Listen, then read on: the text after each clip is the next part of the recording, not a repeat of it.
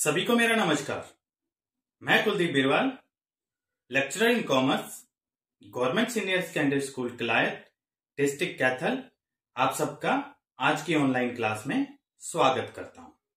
आज हम बारहवीं कक्षा के व्यवसाय अध्ययन विषय के अंतर्गत हेनरी फ्योल के प्रबंध के सिद्धांतों के ऊपर चर्चा करेंगे। तो चलिए शुरू कर लेते हैं आज की ऑनलाइन क्लास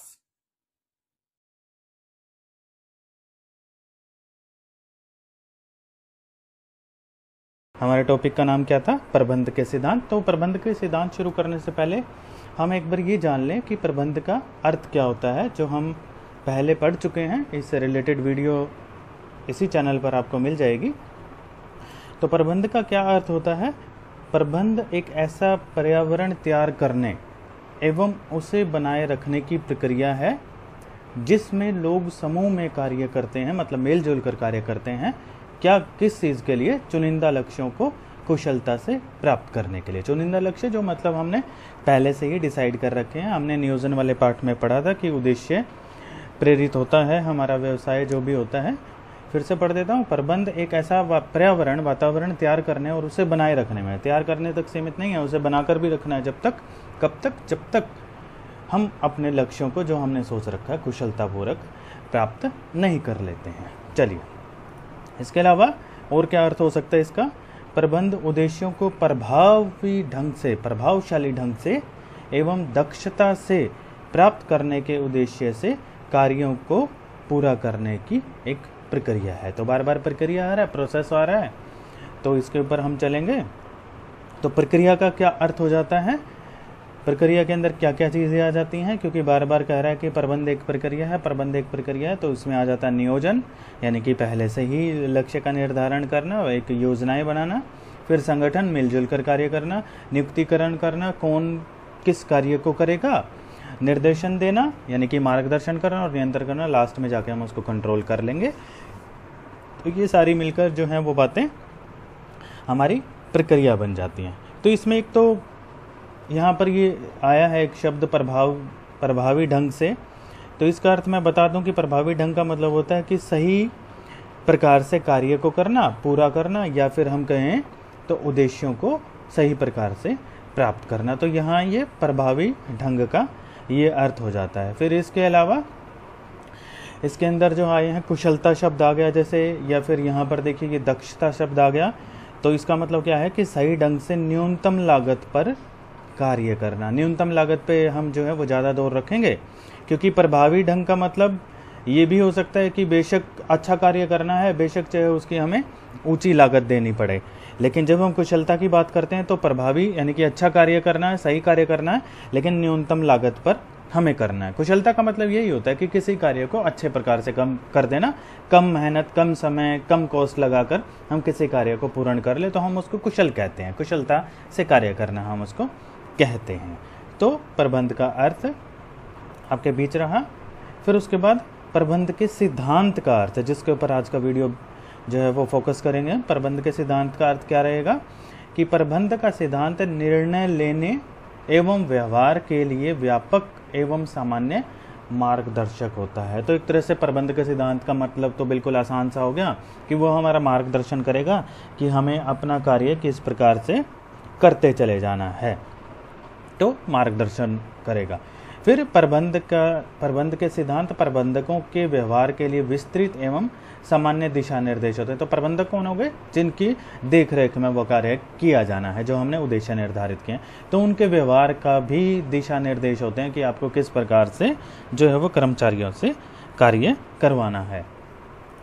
फिर इसके अलावा क्या हो सकता है? जो हमारे प्रसिद्ध विद्वान रहे हैं, विलियम बी कॉर्नेल, उन्होंने क्या कहा कि प्रबंध के सिद्धांत, आधारभूत विवरण या सर्वमान्य सत्य हैं। मतलब मान लिए गए हैं, सबने मान लिया है कि जो प्रबंध के सिद्धांत हैं वो सत्य हैं मतलब उन पर अगर हम चलकर कार्य करें तो हमारे कार्य के अच्छे होने के या फिर उद्देश्य को पूर्ण होने के चांसेस जो हैं वो बहुत ज़्यादा बढ़ जाते हैं। क्या सर्वमान्य सत्य हैं? जो किसी कार्य या विचार का मार्गदर्शन करते हैं। विचार का मतलब होगा कि मैं ऐसा सोचता हूँ कि ये कार्य इस प्रकार से किया जाना चाहिए तो उसका मार्गदर्शन जो है वो हमारा करते चले जाते हैं। प्रबंध के सिद्धांतों को लागू करने से पूर्व उनके लक्षण एवं प्रकृति को समझना परम आवश्यक है। तो प्रबंध के सिद्धांत जब हम लागू करने जाएँगे इम्प्लीमेंट करने जाएँगे तो उनका क्या रिज़ल्ट निकलेगा और वो किस प्रकार से जो है वो हमें लागू करने हैं तो उनको समझ लेना आवश्यक है। अगर हमने उनको नहीं समझा तो फिर उस कार्य के फेलियर होने के चांसेस ज़्यादा बढ़ जाएँगे। अर्थात यह अंधेरे में डंडा चलाने के समान होगा मतलब तुक्का लगाने वाली जो है वो बात आ जाएगी। ठीक है? फिर उसके बाद प्रबंध के सिद्धांत की प्रकृति कैसे है? प्रकृति का मतलब हो जाता है एक तरह से विदेश, विशेषताएँ मेरिट्स गुण वगैरह। उसके अंदर क्या है? किसके अंदर? प्रबंध के सिद्धांत में। तो सबसे पहली प्रकृति प्रबंध के सिद्धांत सभी प्रकार के संगठनों में प्रयुक्त किए जाते हैं।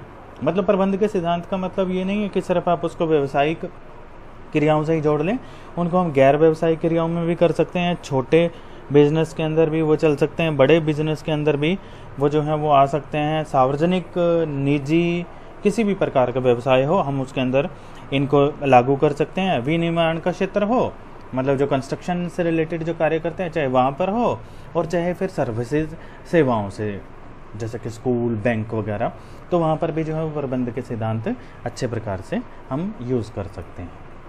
फिर प्रबंध की प्रकृति क्या है? प्रबंध के सिद्धांत कार्य के लिए मार्गदर्शन का कार्य करते हैं। तो जो भी हम कार्य कर रहे हैं, उनका हम दिशा निर्देश दिखाते चले जाते हैं, हमें एक रास्ता सा दिखाते हुए चले जाते हैं। तो मार्गदर्शन का, करते हैं कार्य। फिर प्रबंध के सिद्धांतों का सभी प्रबंधकों के अनुभव बुद्धि चातुर्य एवं शोध के द्वारा ही निर्माण किया जाता है। ऐसा नहीं है कि जो मर्ज़ी उठाया और उसको प्रबंध के सिद्धांत मानकर और उसको लागू कर दिया, नहीं। जो प्रबंधक हैं, जो मैनेजर्स हैं, जो मैनेज कर रहे हैं चीज़ों को, उनका अनुभव देखते हैं। उनकी बुद्धि चातुर्य मतलब कितने चतुर हैं वो, और शोध का मतलब होता है कि नई नई चीज़ें खोजना। ठीक है? तो उनके द्वारा जो है वो निर्माण किया होता है। ऐसा ही नहीं होता कि जो मर्ज़ी आया और इम्प्लीमेंट कर दिया। तो अगर हम प्रबंध के सिद्धांतों को फॉलो करते हैं तो व्यवसाय के अंदर जो है वो सफलता प्राप्त करने के चांसेस इसीलिए ज़्यादा बढ़ जाते हैं। क्योंकि अनुभवी प्रबंधकों बुद्धि का प्रयोग करते हैं, चातुर्य का प्रयोग करते हैं और कई चीज़ों को शोध करके देखते हैं। उसके बाद ही प्रबंधक के सिद्धांतों का निर्माण होता है। फिर प्रबंध के सिद्धांत की अगली प्रकृति क्या है? प्रबंध के सिद्धांत लोचशील होते हैं। लोचशील का पिछली वीडियो में बताया था, मैं फिर से यहाँ पर बता देता हूँ। लोचशील का मतलब होता है हम उनको ज़रूरत, सिचुएशन के अकॉर्डिंग हम उसमें परिवर्तन कर सकें थोड़ा बहुत अगर ज़रूरत महसूस होती है तो। प्रबंध के सिद्धांत ऐसा नहीं है कि लकीर के फकील होते हैं, ज़रूरत के अकॉर्डिंग जो है वो हम उसमें परिवर्तन कर लेते हैं। फिर प्रबंध के सिद्धांतों का लक्ष्य मानवीय व्यवहार को प्रभावित करना होता है। तो हमारे यहाँ मानवीय और भौतिक व्यवसाय के अंदर दो चीज़ें चलती हैं, भौतिक मशीनरी वगैरह, बिल्डिंग वगैरह, ये सारी चीज़ें, और मानवीय जो हमारे वर्कर्स हैं। तो उनको प्रभावित करना जो है वो प्रबंध के सिद्धांतों का लक्ष्य होता है, जो हमारे अंडर में कार्य कर रहे हैं वर्कर्स हैं सैलरीड हैं या वेजेस पर्सन हैं। अगर हमने, हम उनके दिल को टच कर गए तो फिर हमारे कार्य जो हमने उनसे लेना है, उसकी कुशलता में वृद्धि होगी और वो खुशी खुशी कार्य कर सकेंगे। तो मानवीय व्यवहार को प्रभावित करना जो है वो प्रबंध के सिद्धांतों का लक्ष्य होता है। इसका मतलब यह भी नहीं होता कि वस्तु स्थिति या घटना से संबंधित नहीं होता।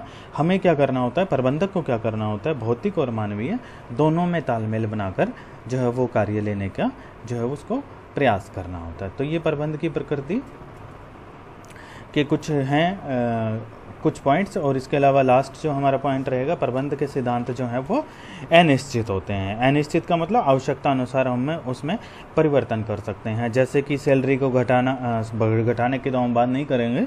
सैलरी को बढ़ाना वेजेस को बढ़ाना या एम्प्लॉय वर्कर की योग्यता को जब हम सैलरी बढ़ाने की हम जब बात करेंगे या हम बढ़ाने की इच्छा रखेंगे या एम्प्लॉय चाहेगा कि उसकी सैलरी बढ़े तो मुझे क्या ध्यान में रखना है उसमें? योग्यता को ध्यान में रखना है, उनकी वर्कर्स की, अपने व्यवसाय के बजट को भी ध्यान में रखना है।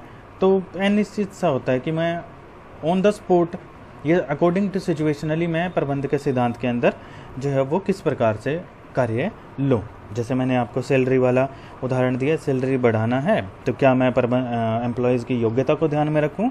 या फिर मैं व्यवसाय के बजट को ध्यान में रखूँ। अगर बजट ठीक है तो फिर योग्यता को मैं ध्यान में रखूँगा। योग्यता में भी फिर अलग बात आ जाएगी, मैं अनुभव को ध्यान में रखूँ या उसकी कार्यकुशलता को ध्यान में रखूँ। तो सिद्धांत अनिश्चित होते हैं।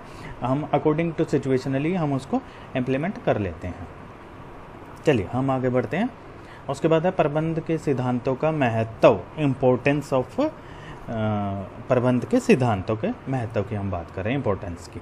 तो सबसे पहला प्रबंध के सिद्धांत संसाधनों का अनुकूलतम उपयोग करने में मदद करते हैं। मतलब जो संसाधन, जो चीज़ें व्यवसाय में उस समय मेरे पास में उपलब्ध हैं, उनका मैं कितने अच्छे से प्रयोग कर सकता हूँ, ये प्रबंध के सिद्धांत हमें बतलाते हैं।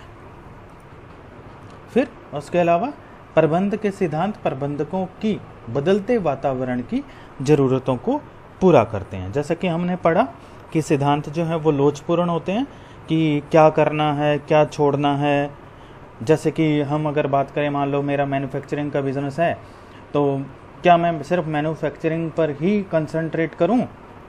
जो गैर मूल कार्य होंगे मेरे, जैसे कि एडवर्टीजमेंट करना या रिटेल पर चीज़ों को बेचना, इस प्रकार के जो मेरे गैर मूल कार्य होंगे तो मैं क्या उनको छोड़ दूँ? क्या दूसरी कंपनी के साथ मैं टाइप कर लूँ?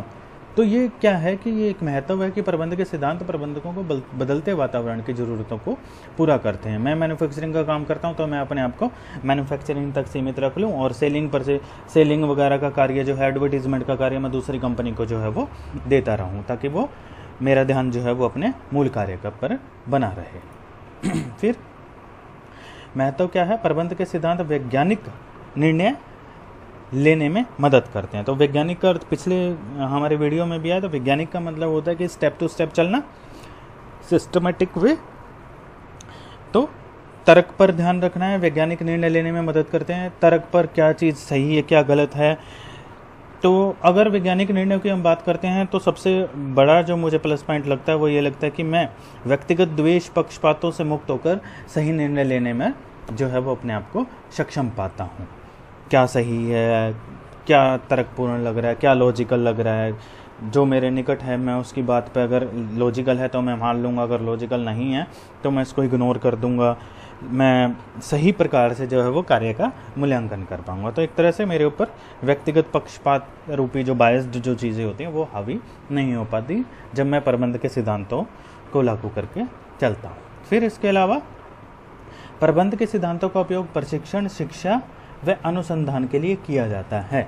तो प्रशिक्षण जब हम देते हैं किसी को ट्रेनिंग जब हम देते हैं तो प्रबंध के सिद्धांतों को हम लागू करके उनको प्रशिक्षण देते हैं। मान लो मैनेजर्स की ट्रेनिंग चल रही है तो हम उनको प्रबंध के सिद्धांतों को अच्छी प्रकार से जो है वो उनको ट्रेनिंग देते हैं कि व्यवसाय को कैसे आ, या फिर व्यवसाय को कैसे चलाना है वर्कर से कैसे काम लेना है डिफरेंट सिचुएशन में मुझे किस प्रकार से सिचुएशन को हैंडल करना है। फिर शिक्षा में काम आता है जैसे कि हम अपने कॉमर्स वाली स्टडी में हम पढ़ते हैं बीकॉम में, और अभी हम प्लस टू के अंदर इसको पढ़ रहे हैं, इस टॉपिक को, प्रबंध को। फिर एमबीए वगैरह के लिए हम जो है वो शिक्षा अलग से जो है वो लेते हैं। तो वहाँ पर भी हम प्रबंध के सिद्धांतों का प्रयोग करते हैं। वह अनुसंधान का मतलब होता है रिसर्च की गई खोज में से नई नई चीज़ों को ढूंढ के लेके आना तो वहाँ पर भी हम प्रबंध के सिद्धांतों का प्रयोग करते हैं। तो ये कुछ प्रबंध के सिद्धांतों के इम्पोर्टेंट महत्व है। ये निचोड़ मैं निकाल के ला रहा हूँ आपके लिए पाठ का। ताकि आप कम मेहनत करते हुए ज़्यादा चीज़ें सीखने का जो है वो मदद मिले।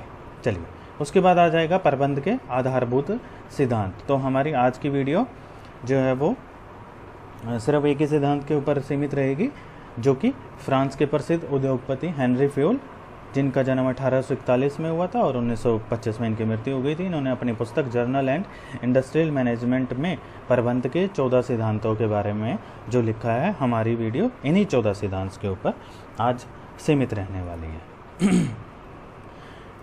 तो हेनरी फ्यूल नाम रखना है, आप लोगों को ज़रूर याद रखना है। और 1841 से 1925 और कौन सी पुस्तक में इन्होंने लिखा, ये कुछ ज़रूरी चीज़ें हैं जो मैंने अलग से कलर में दिखा रखी हैं, ये आप लोगों को जो है वो ज़रूर याद रखनी है। जर्नल एंड इंडस्ट्रियल मैनेजमेंट पुस्तक के अंदर जो लिखा चौदह सिद्धांत तो इन चौदह सिद्धांत के अंदर, अपनी पुस्तक के अंदर दो प्रमुख बातों पर जो है वो हेनरी फ्योल ने ज़्यादा फोकस रखा। कौन सी दो बातें रहीं? सबसे पहली, प्रबंध के सिद्धांतों की सूची बहुत ज़्यादा बड़ी नहीं होनी चाहिए। केवल मार्गदर्शक के रूप में होनी चाहिए। अगर ज़्यादा बड़ी होती चली जाएगी तो हर बात को इम्प्लीमेंट करने में समस्या आएगी या फिर समस्या नहीं आई तो हम उनको पूर्ण नहीं कर पाएँगे। तो ज़्यादा बड़ी सूची नहीं रखनी है। केवल और केवल मार्गदर्शन के रूप में होगी, वो रास्ता दिखाती हुई चली जाएगी हमारी प्रबंध के सिद्धांतों की सूची। और दूसरी जो प्रमुख बात पर ज़ोर देने के लिए कहा है कि प्रबंध के सिद्धांत जो है वो कठोर नहीं होने चाहिए, लचीले होने चाहिए। कठोर का मतलब होगा फिक्स हो गए, हम उनमें चेंज नहीं कर सकते। तो लचीले होने चाहिए फ्लेक्सिबल होने चाहिए, ताकि ज़रूरत पड़ने पर हम उनमें चेंजेस कर सकें। जैसे कि एक उदाहरण हमने सैलरी वाला लिया था, अगर मान लो प्रबंध के सिद्धांत कठोर हैं और सैलरी बढ़ाने की काम आ गई सैलरी बढ़ाने वाला समय आ गया और हमारा बजट नहीं था और हमारे प्रबंध के सिद्धांतों में लिखा हुआ है कि हर साल जो है वो हमें अपने एम्प्लॉय की सैलरी बढ़ानी है, लेकिन बजट सैलरी बढ़ानी है, मान लो हर एम्प्लॉय की हमें हज़ार रुपये पर मंथ जो है वो बढ़ाना है, लेकिन बजट अलाउ कर रहा है सिर्फ़ पाँच सौ का और प्रबंध के सिद्धांत हमने कठोर मान के चल पड़े हैं तो क्या होगा बिज़नेस का जो बजट है वो गड़बड़ा जाएगा। तो लचीले होने चाहिए, जिस साल व्यवसाय को कम प्रॉफिट हो तो उस हिसाब से कम तनख्वाह बढ़ा दी जाए, जिस साल ज़्यादा हो, उस हिसाब से पिछले वाले की रिकवरी कर दी जाए। तो प्रबंध के सिद्धांत कठोर नहीं, लचीले होने चाहिए। तो चलिए, आज हम बढ़ते हैं अपने प्रबंध के उन चौदह सिद्धांतों को जो हेनरी फेयल ने दिए हैं। इन चौदह सिद्धांतों को फॉलो करते हुए हम व्यवसाय में सफलता प्राप्त कर सकते हैं। तो सबसे पहला हमारा सिद्धांत है, कार्य विभाजन डिवीज़न ऑफ़ वर्क इस सिद्धांत के अनुसार पूरे कार्य को छोटे छोटे भागों में बांट देना चाहिए तथा प्रत्येक व्यक्ति को उसकी योग्यता और रुचि के अनुसार कार्य का एक ही भाग सौंपना चाहिए। किस चीज़ पे ज़ोर दिया गया कि पूरे कार्य को एक तो छोटे छोटे हिस्सों में बांट दो। दूसरा प्रत्येक व्यक्ति को उसकी योग्यता की वो कितना, किस कार्य को कितना अच्छा कर सकता है और कितना उस कार्य को करते हुए आनंद लेता है, वो कार्य उसको सौंप दो। उससे क्या होगा? एक तो विशिष्टीकरण के लाभ प्राप्त होंगे हमें। विशिष्टीकरण का मतलब होता है कि जिस व्यक्ति को जो कार्य दिया, उसकी रुचि और उसकी योग्यता के अनुसार वो उसमें स्पेशलाइजेशन प्राप्त कर लेगा। उसमें महारत जो है वो प्राप्त कर लेगा। दूसरा, कर्मचारियों की कार्यकुशलता में वृद्धि होगी। एक तो रुचि का कार्य मिल गया, दूसरा, मेरी योग्यता के अकॉर्डिंग मिल गया, मैं उस कार्य को जब करता चला जाऊँगा तो मेरी कार्यकुशलता बढ़ती चली जाएगी। मतलब उस कार्य को करना, उस जो भी प्रोडक्ट मैं बनाऊँगा, या जो भी मैं कार्य करूँगा, उसके जो है वो क्वालिटी इंप्रूव होती चली जाएगी लगातार। अगर मैं ये चीज़ नहीं करता हूँ मतलब अगर मैं कार्य विभाजन नहीं करता हूँ तो सबसे पहले तो विशिष्टीकरण वाला लाभ मैं खो दूँगा। कि कर्मचारी मेरा जो है, जिसको मैं कार्य जो है, वो बिना रुचि का दे दिया, बिना योग्यता का दे दिया, सबसे पहले तो स्पेशलाइजेशन में आएगा ही नहीं। दूसरा, उसकी कार्यकुशलता में भी कमी आ जाएगी। मतलब मान लो मुझे जो है, वो जो सा कार्य करना आता है, अगर मुझे उसके विपरीत दूसरा कार्य दे दिया तो जो कार्य मुझे आता है, वो भी मेरे को धीरे धीरे जो है, वो मेरे अंदर से ख़त्म होता चला जाएगा तो नुकसान हो जाएगा। फिर तो कार्य विभाजन का ये लाभ और हानि हो गया। फिर दूसरा आता है हमारा सिद्धांत, अधिकार और उत्तरदायित्व। इस सिद्धांत के अनुसार, जब किसी व्यक्ति को कोई कार्य सौंपा जाता है और उस कार्य के प्रति हम उसे उत्तरदायी भी ठहराना चाहते हैं तो हम उस, उसे उस कार्य से संबंधित पर्याप्त अधिकार भी देने चाहिए।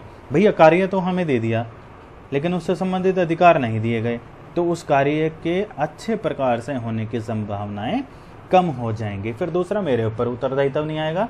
क्या होगा?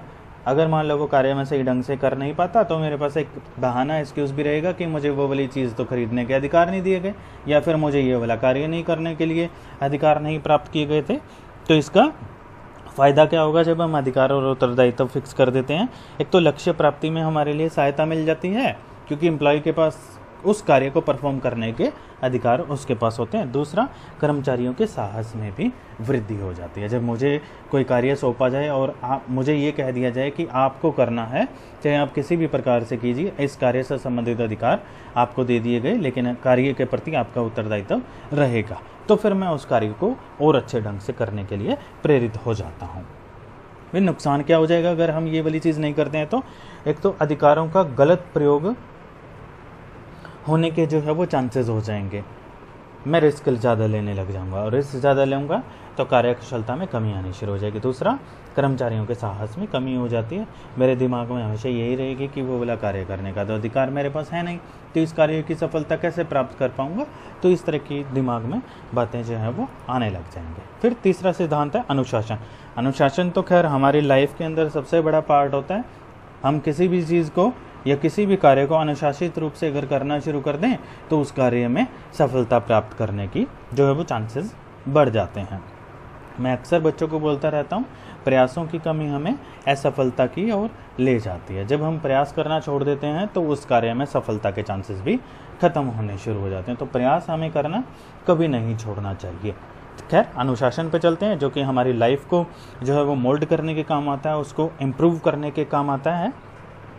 अनुशासन से अभिप्राय, आज्ञाकारिता, अधिकारों के प्रति श्रद्धा और नियमों का पालन करने से है। जैसा हम अक्सर स्कूल के अंतर करते हैं, अनुशासन में मैं ये मान के चलूँ, अगर मेरा स्कूलिंग या कॉलेजिंग जो है वो ख़त्म हो चुकी है और मैं कंपटीशन एग्ज़ाम की तैयारी कर रहा हूँ तो एक समय जब तक मैं फिक्स नहीं करूँगा कि मुझे दो घंटे, तीन घंटे या सुबह उठ कर पढ़ना है या रात को पढ़ना है, जो भी सुटेबल टाइम लगे, उस टाइम को अगर मैं फॉलो नहीं करके चलूँगा, उन चीज़ों को मैं फॉलो नहीं करूँगा तो मेरे आगे आने वाली लाइफ के अंदर सफलता के चांसेस जो हैं वो कम होते चले जाएँगे। तो किसी भी कार्य का सफलतापूर्वक निष्पादन, यानी कि परफॉर्मेंस करने के लिए अनुशासन का होना सबसे ज़्यादा आवश्यक होता है। होगा क्या उससे? अनुशासित संस्था की साख लोगों की नज़रों में अच्छी होती है। मतलब एक उदाहरण ले लीजिए स्कूल का या कॉलेज का, जहाँ पर अनुशासन संबंधित नियमों का पालन अध्यापक और बच्चे करते हुए मिलेंगे। वहाँ पर जो है वो आस पड़ोस में या उस शहर के अंदर और स्कूल या कॉलेज के बारे में हमेशा आपको तारीफ़ सुनने के लिए मिलेगी। फिर दूसरा, कर्मचारियों की कुशलता में वृद्धि हो जाएगी। वो तो ही है। जब अनुशासन के साथ में कार्य करेंगे तो फिर हमेशा जो है वो कुशलता में तो वृद्धि होगी ही। अगर हम ये चीज़ नहीं करते हैं, अनुशासन वाली नहीं करते हैं तो एक तो सबसे बड़ी चीज़ है ही हमारे साख में तो गिरेगी। किसी भी स्कूल में अनुशासन ना रहे या कॉलेज में ना रहे तो वहाँ उस शहर या गाँव में हमेशा यही तो इसी प्रकार की बातें होती हैं कि वहाँ पर अनुशासन नाम की तो कोई चीज़ है नहीं। वहाँ पर बच्चे जो हैं वो बिगड़ जाएँगे या नहीं सीख पाएँगे कुछ भी। होगा क्या? अव्यवस्था का बोलबाला हो जाएगा। सब कुछ होश बोश हो जाएगा। कोई कार्य कर रहा है, कोई नहीं कर रहा है, कोई टाइम लिमिट नहीं है कि ये कार्य नॉर्मली दो घंटे के अंदर पूरा हो जाना चाहिए तो उस कार्य को करने में पाँच घंटे भी लग सकते हैं, दो दिन भी लग सकते हैं, वगैरह वगैरह। तो अनुशासन जो है वो प्रबंध का सिद्धांत अति आवश्यक है। अगला, आदेश की एकता। ये भी एक बड़ा इंपॉर्टेंट पॉइंट है।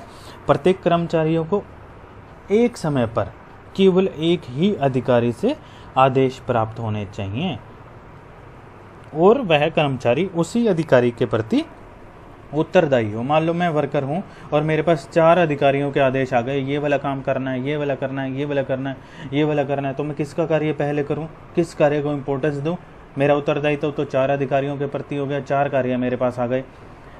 एक घंटे का मान लो समय मिल गया एक घंटे बाद चारों आके खड़े हो गए अधिकारी बताओ हमारा काम कहाँ है? तो मैं किसके प्रति? जी मैंने ये कर दिया बाकी तीनों का काम कहाँ चला गया? तो उस चीज़ से बचने के लिए प्रबंध का सिद्धांत आदेश की एकता क्या कहता है? कि संगठन की कार्यकुशलता में आदेश की एकता से जो है वो वृद्धि होती है। किसकी? संगठन की कार्यकुशलता। संगठन का मतलब मिलजुल कर कार्य करना। तो एक अधिकारी, एक ही कर्मचारी को आदेश देगा तो कर्मचारी का भी उसके प्रति ही उत्तरदायित्व रहेगा। दूसरा, उद्देश्य प्राप्त जो हमें करने हैं, वो आसानी रहेगी। जैसा उदाहरण दिया कि चार अधिकारियों ने एक कर्मचारी को जो है वो आदेश दे दिया तो उद्देश्य प्राप्ति किसकी होगी? किसी एक की ही हो सकती है ज़्यादा से ज़्यादा। अगर वो चारों का कार्य शुरू कर देगा तो चारों में से किसी की भी नहीं हो पाएगी। तो उद्देश्य प्राप्ति में भी इस आदेश की एकता जो है वो सिद्धांत हेल्पफुल रहता है। नहीं करते हैं तो संगठन में कार्यकुशलता की तो कमी आएगी। उदाहरण लिया, कार्य तो किसी का भी नहीं कर पाया वो। और दूसरा, उद्देश्य प्राप्ति में कठिनाइयाँ आनी शुरू हो जाएँगी। ठीक है? तो ये चार हो गए, उसके बाद हम पाँचवें पे चलते हैं। पांचवा क्या है? निर्देश की एकता।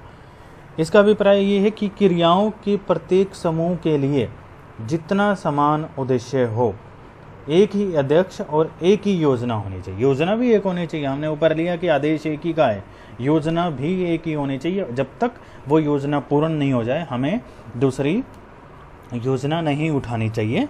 इसका प्रॉफिट क्या होगा? अगर हम निर्देश की एकता कर लेते हैं तो विशिष्टीकरण का लाभ हो जाएगा। विशिष्टीकरण का मैंने अर्थ पहले बताया स्पेशलाइजेशन हो जाएगा। तो निर्देश जो दिए गए हैं किसी कार्य को करने के लिए, भैया, ये इस कार्य को करने के लिए ये निर्देश है, पहले आप ये कार्य कर लीजिए, फिर उसके बाद आपको अगले निर्देश प्राप्त हो जाएँगे। तो एक तो स्पेशलाइजेशन का लाभ हो जाएगा हमें। जो कर्मचारियों को जो हमने कार्य दिया गया, वो उस कार्य में पारंगत होते चले जाएँगे, कुशलता प्राप्त करते चले जाएँगे। दूसरा, क्रियाओं में एक स्वरूपता, एक रूपता से समन्वय में मदद मिलेगी। समन्वय का मतलब कोऑर्डिनेशन कोऑर्डिनेशन का मतलब मिलजुल कर कार्य करना। तो वो भी एक हमारा बेनिफिट होता चला जाएगा। अगर हम निर्देशों में एकता को फॉलो नहीं करते हैं तो सबसे पहले तो विशिष्टीकरण को तो भूल जाइए कि मैं स्पेशलाइजेशन कर्मचारियों के अंदर पैदा कर पाऊँगा। क्योंकि एक ही कार्य करने के लिए अलग अलग निर्देश आने शुरू हो जाएँगे या आगे के भी आने शुरू हो जाएँगे तो उससे क्या होगा कि मेरा ध्यान जो है वो भटक जाएगा। फिर दूसरा समन्वय का अभाव हो जाएगा, जो इसका बेनिफिट था, समन्वय होता है। मिलजुल कर कार्य करने की क्षमता बढ़ती है तो वो एक समस्या उत्पन्न होनी शुरू हो जाएगी। फिर छठा, व्यक्तिगत हित, सामान्य हित के अधीन होते हैं। व्यक्तिगत मेरा पर्सनल से जुड़ा हुआ, सामान्य मेरा व्यवसाय से जुड़ा हुआ। इस सिद्धांत के अनुसार संस्था का हित ही सर्वोपरि है। यानी कि सामान्य हित जो सबके लिए है, उसको सामान्य हित कहा गया। तो संस्था का हित सर्वोपरि है। यदि सामान्य हित व व्यक्तिगत हितों को प्राथमिकता क्रम में रखने के लिए कहा जाएगा कि किसको पहले लेना है, किसको बाद में लेना है तो किसी चीज़ का डाउट नहीं है। मुझे सबसे पहले सामान्य हितों को ही पहले स्थान पर रखना है। क्यों? अगर व्यवसाय ग्रो करेगा तो मेरे व्यक्तिगत हित ऑटोमेटिकली ग्रो करेंगे, बढ़ेंगे। ठीक है? तो एक तो मानवता का पालन हो जाएगा इससे। मानवता का मतलब सभी के अधिकार जहाँ पर समान हो। दूसरा, संस्था को लाभ होगा। क्योंकि हमने संस्था को सबसे ऊपर फोकस रखा है तो संस्था को लाभ होगा। तो उसके जितना लाभ उसको होगा। हमने एक उदाहरण लिया था सैलरी बढ़ाने वाला। हमने लिया था बजट कम है तो कम सैलरी बढ़ रही है बजट ज़्यादा आ गया। बजट कहाँ से आ रहा है? लाभ कमाने से आ रहा है। ज़्यादा आ गया तो ज़्यादा सैलरी बढ़ जाएगी। तो किसका लाभ कमाने से ही तो सैलरी मेरी बढ़ रही है ना? तो लाभ कब कमाएँगे? जब हम संस्था के बारे में सेंट्रलाइज करके सोचेंगे। नहीं करते हैं तो मानवता का हनन होगा। किसी को ज़्यादा मिल रहा है, किसी को कम मिल रहा है। और दूसरा, व्यक्तिगत एवं संस्थागत उद्देश्यों में समन्वय का अभाव आ जाएगा। कोऑर्डिनेशन रहेगा ही नहीं व्यक्तिगत और संस्था के उद्देश्यों के अंदर। उसके बाद आता है, सातवां पॉइंट हमारा आता है, कर्मचारियों का पारिश्रमिक। अब बिना पारिश्रमिक एक ऐसी चीज़ होती है जो हमेशा कर्मचारियों के लिए मोटिवेशन का काम करती है। मोटिवेशन क्या होता है? उत्साहवर्धन। हमेशा जब जब पारिश्रमिक पारिश्रमिक जो है कर्मचारियों को मिलता है, तब तब वो उत्साहित होकर और अच्छे प्रकार से कार्य करने का प्रयास करते हैं। तो इस सिद्धांत के अनुसार कर्मचारियों को दिया जाने वाला पारिश्रमिक उचित होना चाहिए, जैसी उनकी योग्यता अनुभव, वैसा ही उनका पारिश्रमिक उनको मिलना चाहिए ताकि कर्मचारियों व मालिकों दोनों को अधिकतम संतुष्टि मिल सके। ये भी ना हो कि मालिक का नुकसान कर रहे हैं हम ज़्यादा सैलरी देकर, जो सैलरी बढ़ाने वाला मैंने बजट का उदाहरण दिया, और ये भी ना हो कि कर्मचारियों को उनकी योग्यता या उनके टैलेंट के अकॉर्डिंग कम सैलरी मिल रही। तो दोनों को ही हमें जो है वो सेटिस्फाई करके चलना है किन दोनों को कर्मचारी और व्यवसाय चलाने वाले को। फ़ायदा क्या हो जाएगा इससे? कर्मचारियों को संतुष्टि में वृद्धि हो जाएगी। जब जब हमें संतुष्टि में वृद्धि होती है, तब तब हम कार्य को और अच्छे प्रकार से करने का प्रयास करते हैं। दूसरा, कर्मचारियों को, कर्मचारियों में समर्पण भावना जो है वो विकसित होती है, कि डेडिकेट हो जाते हैं वो अपने जिसके अंडर वो कार्य करते हैं, जिस व्यवसाय के लिए वो कार्य करते हैं तो उनके लिए डेडिकेटेड होकर जो है वो कार्य करने लग जाते हैं। और अगर मैं इस चीज़ को इम्प्लीमेंट इस सिद्धांत को इम्प्लीमेंट नहीं करता हूँ तो कर्मचारियों की संतुष्टि में तो अभाव आएगा ही आएगा। और दूसरा, श्रम परिवर्तन की दरों में वृद्धि हो जाएगी, ऊपर नीचे रहेगी, कभी बढ़ जाएगा, कभी घट जाएगा। तो ये समस्या जो है वो मेरे आगे आ सकती है। फिर आठवां सिद्धांत, हम पढ़ रहे हैं प्रबंध के चौदह सिद्धांत, हम उसके आठवें सिद्धांत में आ गए हैं। आप इस वीडियो को रिपीट करके जो है वो एक दो बार देखें तो और ज़्यादा अच्छे से आपका कंसेप्ट जो है वो क्लियर होता चला जाएगा। तो हमारा आठवां सिद्धांत है, केंद्रीयकरण वे विकेंद्रीयकरण। तो केंद्रीयकरण के स्पेलिंग मिस्टेक हो गई या इग्नोर कर दीजिएगा, नया रह गया उसमें, केंद्रीयकरण और विकेंद्रीयकरण।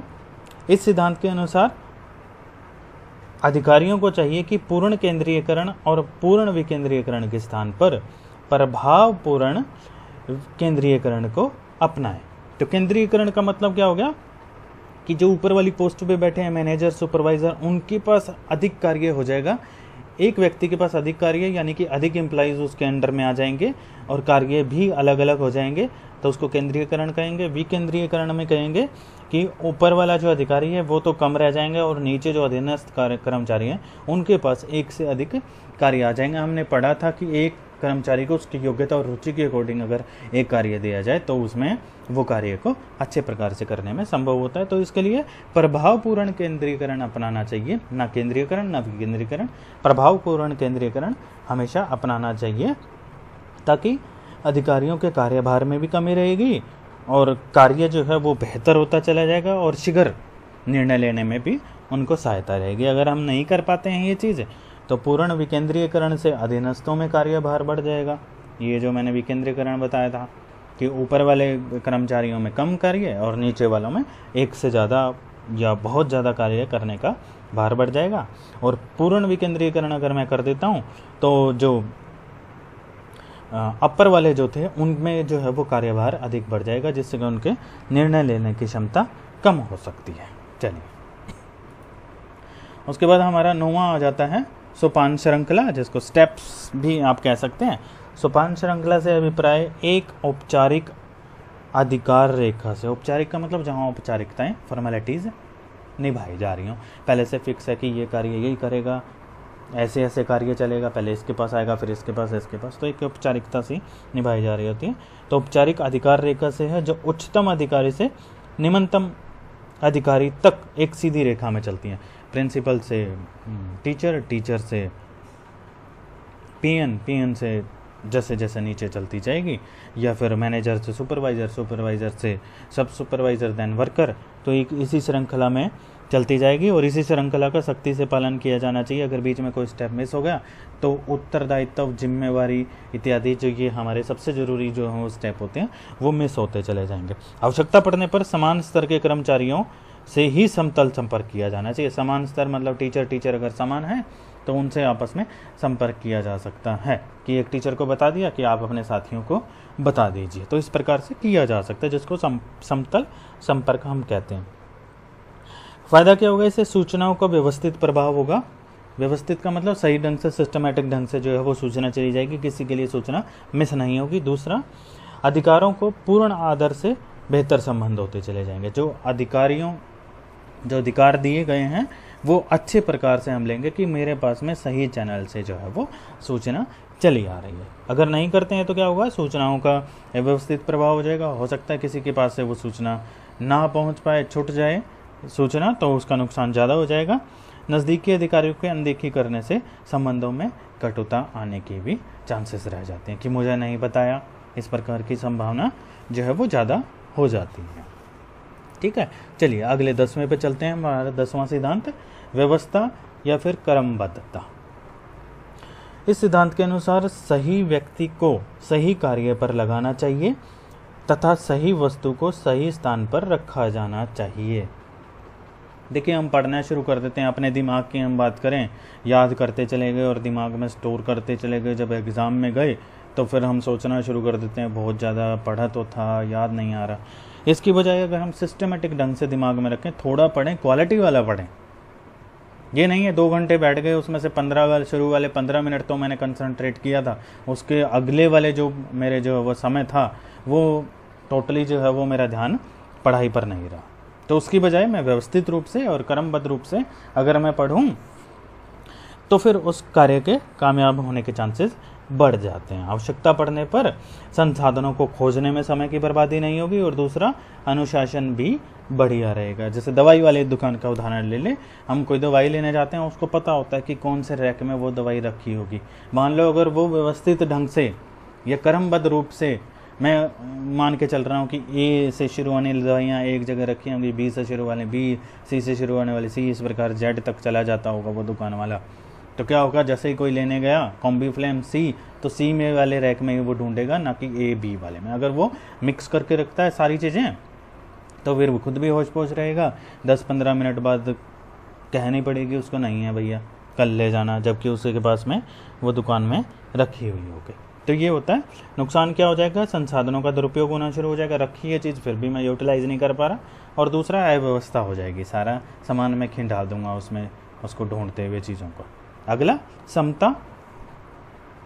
यह सिद्धांत बताता है कि प्रबंधकों को अपने अधीनस्थों अपने अधीनस्थों का मतलब जो मेरे अंडर में, जो प्रबंधक के अंडर में कार्य कर रहे हैं, के साथ व्यवहार करते समय न्याय और उदारता का प्रदर्शन करना चाहिए। सबको बराबर मानवता की नज़र से मानवतापूर्ण व्यवहार जो है वो सभी अधीनस्थों के साथ में करना चाहिए। इससे क्या होता है? कर्मचारी संतुष्ट रहते हैं और अकुशल कर्मचारी कुशलता प्राप्ति का प्रयास करने लग जाते हैं। अकुशल कौन सा है? जिसको कार्य कम आता है। कुशल कौन सा है? जिसको कार्य अच्छे से करना आता है। तो उसकी तरफ़ प्रयास करने लग जाते हैं। ना कर पाए तो कुशल कर्मचारियों में असंतुष्टि का दौर शुरू हो जाएगा और अकुशल कर्मचारी जिनको कार्य कम करना आता है, वो लापरवाही ज़्यादा करने लग जाएँगे। अगला प्रबंध का सिद्धांत जो है वो बारहवा, वो है कर्मचारियों में स्थायित्व। ये बड़ा ज़रूरी चीज़ है। प्रबंध की दृष्टि से कर्मचारियों का दिन प्रतिदिन बदला जाना अहितकारी होगा। भैया, दो दिन उसको काम करते हुए थे, उस कार्य में वो धीरे धीरे उन कार्य को समझने लगा था, तभी मैंने उसकी दूसरी कार्य में लगा दिया उसको। जो दूसरे कार्य में लगा था, उसको दूसरे कार्य में लगा दिया। तो जब कार्य को समझने और अच्छे प्रकार से करने का समय आया, मैंने कर्मचारियों का जो है वो कार्य बदल दिया। उससे क्या होगा? जो है वो नुकसान होता चला जाएगा। तो इस सिद्धांत के अनुसार कर्मचारियों में स्थायित्व बना रहना चाहिए ताकि कार्य व्यवस्थित रूप से चलता रहे। होगा क्या? इससे कर्मचारियों के विश्वास में वृद्धि होगी, दूसरा संस्था के साख में भी वृद्धि होगी। ना कर पाया तो कर्मचारियों में अविश्वास का वातावरण आ जाएगा और संस्था में साख में कमी आनी शुरू हो जाएगी। फिर उसके बाद हमारा तेरहवा जो सिद्धांत है वो है पहल क्षमता इनिशिएशन पहल क्षमता से अभिप्राय अपने विचारों को प्रकट करते हुए कार्य की क्षमता से है। कर्मचारियों को अपने विचार प्रकट करने की भी हमें स्वतंत्रता देनी चाहिए। इस सिद्धांत के अनुसार प्रबंधकों को अपने कर्मचारियों को अब कर्मचारियों में अधिकारों की सीमा और अनुशासन के अंतर्गत रहते हुए किसी भी कार्य को करने या निर्णय लेने में पहल करने की भावना को उत्प्रेरित करना मतलब उसके अधिकार उत्तरदायित्व तो फिक्स कर दिए, उसके बीच में वो जो है वो अपनी बात रखने का उसको फ्रीडम दे ताकि एक तो उसके अंदर जो है वो कार्य को और ज़्यादा अच्छे करने की भावना जो है प्रेरित होगी। दूसरा, कर्मचारियों की सोच शक्ति में वृद्धि होगी। कर्मचारियों का निर्णय को लागू करने में भी सहयोग रहेगा। जब हम कर्मचारियों में निर्णय को लागू करेंगे तो उसमें भी उनका सहयोग मिलेगा। ना कर पाए तो कर्मचारियों के सोच में कमी आ जाएगी। वो सीमित रहेंगे, जो बताया जाएगा उतना ही करेंगे। उनके दिमाग में और अच्छा आ रहा होगा तो वो बताएँगे नहीं। और फिर कर्मचारियों के अंदर जब हमें निर्णय को लागू करना है तो उनके सहयोग लेने में भी हमें समस्या का सामना करना पड़ सकता है। और हमारा चौदहवा और आखिरी, सहयोग की भावना। इस सिद्धांत के अनुसार प्रबंधकों को लगातार कर्मचारियों में टीम भावना विकसित करते रहना चाहिए। भैया, मिलजुल कर कार्य करो, एक दूसरे की हेल्प करो इस प्रकार से बार बार उनको उत्साहित करते रहना चाहिए, जिससे क्या होगा? टीम भावना से कार्य करने की एक तो उनको प्रेरणा मिलेगी, दूसरा हमें उद्देश्य प्राप्त करने में आसानी रहेगी। नहीं कर पाए सहयोग की भावना विकसित तो टीम भावना तो खत्म ही हो जाएगी और उद्देश्य प्राप्ति करने में कठिनाइयाँ नहीं मिलेंगी। तो ये चौदह के चौदह सिद्धांत जो हैं वो हमें अच्छे से याद करने हैं। एग्ज़ाम में आने के बहुत ज़्यादा चांसेस इनके रहते हैं। प्लस टू का पेपर अभी हरियाणा बोर्ड ने अभी लिया नहीं है बिज़नेस स्टडी का। तो इस वाले प्रबंध के चौदह सिद्धांतों को अच्छे प्रकार से याद कर लें। इस प्रकार के सिद्धांत जो है, वो अक्सर पेपर में आ जाया करते हैं। पिछले तीन साल के पेपर उठा के देखिए, उनमें ज़रूर जो है वो इस प्रकार के प्रश्न पूछे गए हैं। एक उदाहरण दे देता हूँ इसी प्रकार से, जो ये सारे के सारे आए हैं। जैसे कि साइकिल निर्माण से ले लेते हैं। एक व्यक्ति जो है वो सिर्फ़ घंटी बना रहा है। एक व्यक्ति रिम को तैयार कर रहा है। एक व्यक्ति जो है वो हैंडल बना रहा है। एक व्यक्ति गद्दी बना रहा है। एक व्यक्ति टायर बना रहा है। तो क्या हुआ कि उनके कार्य, उनकी योग्यता के अनुसार बटे हुए हैं और जैसे जैसे उस कार्य को वो लगातार करते चले जाएँगे वैसे वैसे वो कार्य क्षमता प्राप्त करते चले जाएँगे। तो बच्चों, कैसी रही आज की ऑनलाइन क्लास उम्मीद करता हूँ आप सबने ध्यान से सुना होगा। आज हमने ऑनलाइन क्लास में हेनरी फ्योल के प्रबंध के चौदह सिद्धांतों के ऊपर चर्चा की। तो हमें ये चौदह सिद्धांत याद रखने हैं। आप सबका धन्यवाद।